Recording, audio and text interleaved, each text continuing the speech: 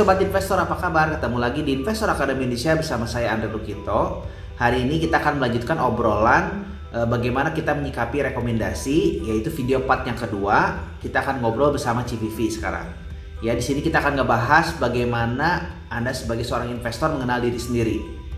Ya, di sini juga dia akan diajarkan bagaimana kita menanggapi suatu rekomendasi atau enggak e, bagaimana kita mengatur aset alokasi kita. Ya, jadi Uh, saya harapkan teman-teman yang ingin serius berinvestasi di saham, saya sarankan Anda menonton video ini sampai habis. Ya, bagi yang ingin tahu bagaimana uh, tips-tips dari CVV yang lain-lainnya, saya akan cantumkan video di sini ya, nonton juga ya. Dan juga ingin tahu bagaimana belajar tentang fundamental, uh, saya akan cantumkan juga di sini. Ya, video-videonya saya sudah buatkan buat Anda untuk belajar juga ya. Nah, bantu share video-video ini, subscribe, nyalakan loncengnya, dan pastikan anda juga uh, belajar nonton juga video-video yang lain uh, itu ya supaya anda juga bisa belajar sama-sama. Kita sama-sama bertumbuh. Yang mudah-mudahan kita juga segera realisasikan untung. Oke kita mulai saja videonya. Terima kasih.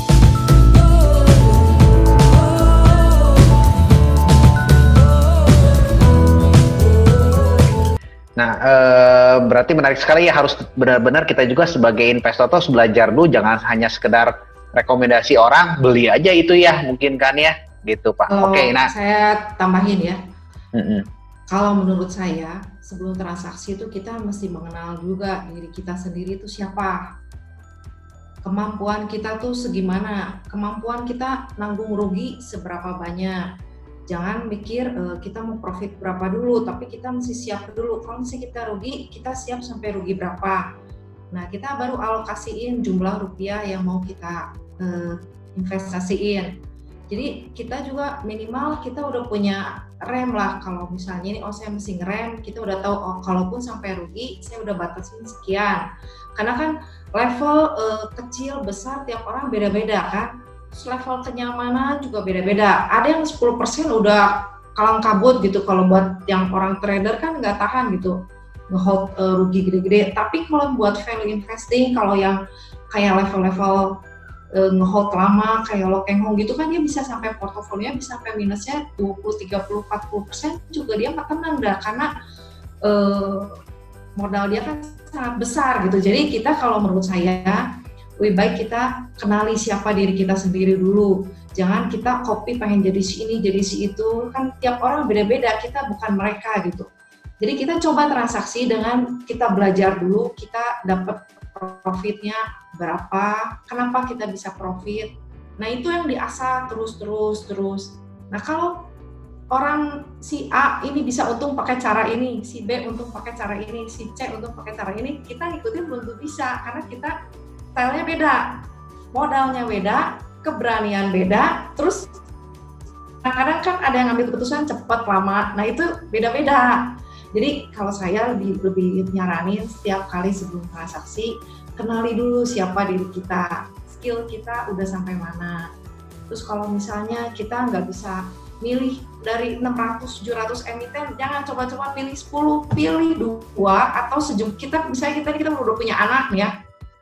Anak kita dua atau tiga, ya udah pilih aja portofolio sejumlah anak kita itu anggap uh, kita yang mesti kita rawat. Kita lihat satu-satu secara fundamentalnya gimana, pergerakannya harganya gimana.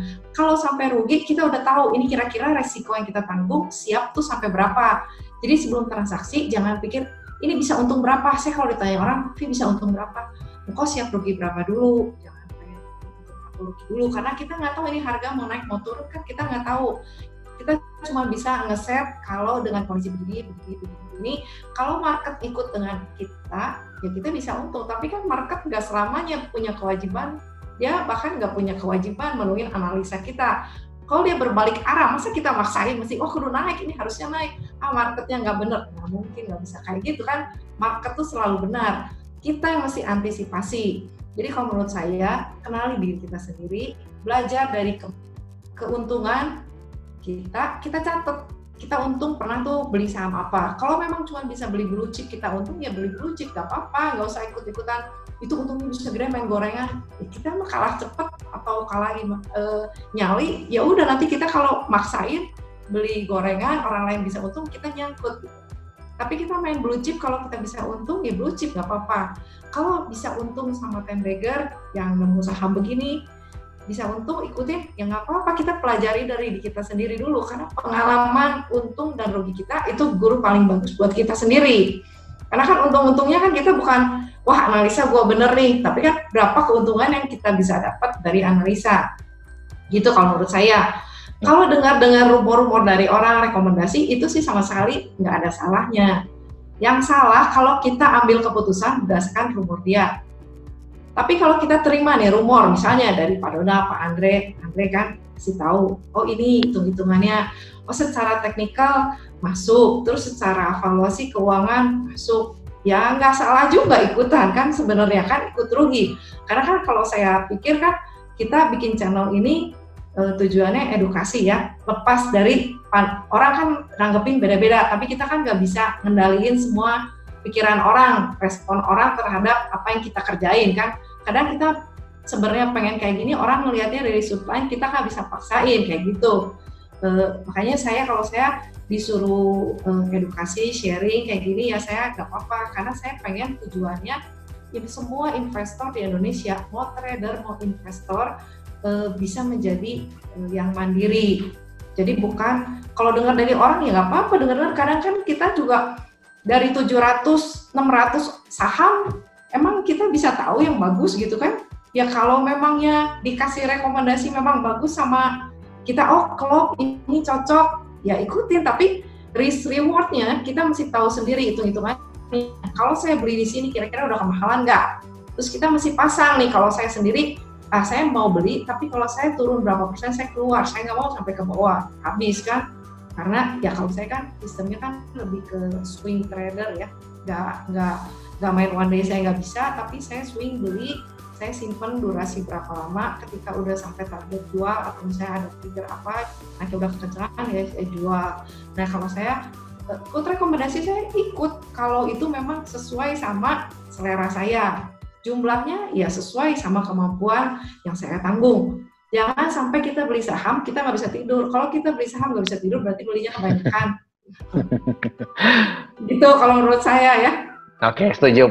Saya cuma ingin juga klarifikasi juga ke teman-teman yang nonton video ini. Uh, saya cuma ngomong saya sendiri pun, Pak Dona dan CVV biarpun sering diskusi, tapi saya jamin portfolio kita masing-masing semuanya berbeda. Beda-beda. Ya, Tidak ada yang sama kita keyakinan berbeda-beda atau berbeda-beda tapi tetap kompak. Iya betul ya. Jadi sesuai dengan keyakinan masing-masing ya pak ya. Sama masing-masing ya. Nggak ada ya. yang merasa paling benar kan karena kita kan saling ngehargain tiap orang. Ya modal Pak Donald beda, modal Andre beda, modal saya beda, keberanian saya beda, keberanian Pak Donald beda, keberanian Andre beda. Terus nah. cara ngehold keuntungan juga beda-beda kan. Paling betul, jago betul. Pak Donald masih belajar masih ada dua apa udah nah, untung sekian saja aduh katahan saya saya paling paling salut itu ngehold keuntungan. Jarang bisa. Orang mah atmos gampang. Untung 10 20 persen gampang. ngehold lama itu susah Ci, masalahnya gini Pak, untungnya sedikit sih ngeholdnya udah tinggi sih gampang Ci. Kalau udah Keren. cuannya gede, uangnya gede, ngeholdnya udah tinggi itu yang nggak sabar Ci. Iya. Nggak gampang dibikin, juga ya. Dibikin itu trading plan, trailing stop. Jangan jangan jual gara-gara si Pak Donald jualan nanti kamu nyesel kalau masih Donald kan ada hitungan masing-masing. Betul betul kan betul. Modalnya juga beda. Iya kayak kayak saya kalau saya pribadi sendiri diberi saya keluar dulu pak saat ini pas 100% pak. Kalau saya pribadi sendiri karena karena saya berpikir ah saya kan masih ada emiten yang lain yang masalah under value. Kan kalau pada Donald kan 30% saya 100% itu kan masing-masing terserah ya pak ya. Masing beda.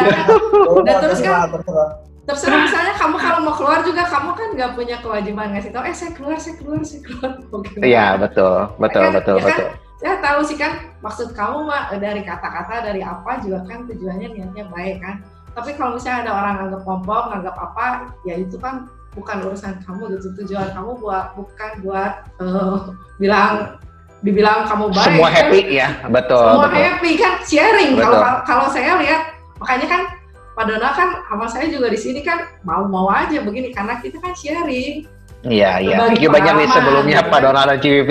Yang terakhir nih saya pengen tahu sih dari segi teknikal sendiri ini untuk investor terutama yang pemula, kan bingung nih pertama kali mulai oke okay lah saya pilih saham blue chip nih tapi apakah ini tepat untuk masuk seperti apa nah tips dari segi teknikal dari Cici sendiri pandangan Cici gimana sih bagusnya kalau lihat teknikal ya, kalau saya lihat terakhir kan dia cross up di 5 ribuan. Kalau lihat indeks ya, tapi kalau kalau orang baru kan nggak lihat Betul. indeks atau apa. Ya kalau orang baru sih kalau kata saya beli yang aman-aman dulu lah, beli kayak eh, Apakah 100% ya. masuk atau jangan, gimana? Jangan oh, dicicil. Okay. Misalnya kan dari seluruh aset dia berapa persen yang dialokasinya di saham kan?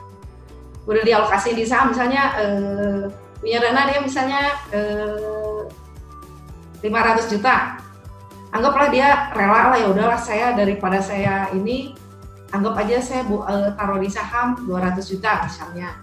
200 juta di saham kan. 200 juta aduh saya misalnya sanggup kira-kira dua atau tiga macam saham. Bagilah tuh tiga macam tiga tiga. Berarti kan kalau itu sekitar eh, 70 sama 60 juta ya. Nah belinya juga dicicil satu macam bagi dua. Jangan langsung masuk gitu. Terus beli sahamnya ya aman-aman dulu. Jangan ini bisa untung berapa? Tapi kita mesti pikir kalau rugi sampai ke berapa? Nah itunya dulu yang dipikir risknya dulu. Kan kalau misalnya hmm. kalau orang yang jam terbangnya udah tinggi udah ngalamin untung rugi kan udah lebih masuk juga. Di bawah turun juga tenang aja kan udah tahu saya mau udah pernah lewat ini nanti juga naik lagi. Tapi kan kalau yang baru-baru langsung di bawah ya keringet dingin ya nggak bisa tidur ya. Nggak bisa tidur itu nggak rusak di rumah nanti berantem terus sama suami istri Oke, okay. ya saya kita sudah ngobrol banyak nih. Aduh, thank you banyak Pak Donald dan CPP sudah meluangkan waktunya uh, dan saya yakin pasti bisa berguna juga bagi teman-teman yang selama ini sudah nonton di Investor Academy Indonesia. Ya, thank you banyak nih CPV dan Pak Donald atas waktunya. Ya, sudah malam juga. Uh, kita akhiri dulu video ini ya Pak Cici ya dan Pak Donald ya. Thank you banyak Pak Donald dan CPV. Ya, kasih ya. Ya, dadah. Bye. Gimana bagus bukan tips dari CPV? Nah, jangan uh, teman-teman bantu komen di bawah ya kira-kira perlu nggak video-video seperti ini ya? Perlu nggak diperbanyak pengalaman-pengalaman dari Pak Donald, CPV atau nggak dari uh, teman-teman yang lainnya? Oke? Okay? Kita uh, ketemu lagi di video yang lainnya. See you the next video. Thank you.